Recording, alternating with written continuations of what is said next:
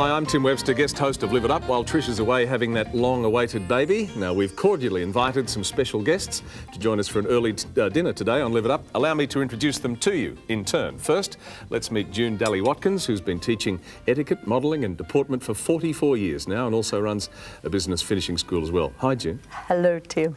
A manners is important now? For a man of distinction. a real big sprinter, but darling, it's about that.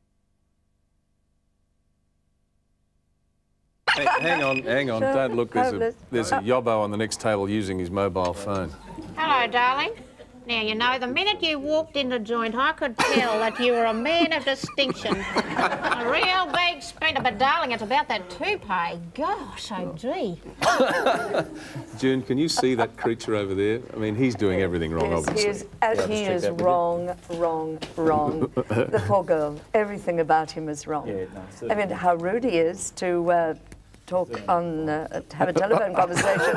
In front of her, Oh, he's spraying. stuffing fro- food in his oh, mouth, Oh, wearing his sunglasses. That's a bit over the top, isn't it? On top of the head, yeah. Yes. Chewing with his mouth open. Now look at the grey hair. You'd think he'd know better, wouldn't you?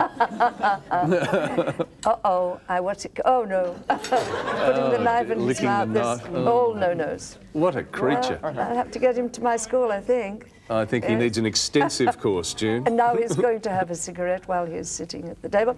That is really too Oh, this poor girl. Look, she's absolutely distraught. No, yes. We'll do that. I don't think she'll play with him again. She'd have to be very hungry, wouldn't she? Unfortunately. Oh, dear me. Unfortunately, do we see a lot of this sort of behaviour? Well, I- unfortunately, I have. That's oh, the, that's the briefcase sad is part there about it. too. He's brought his office to dinner.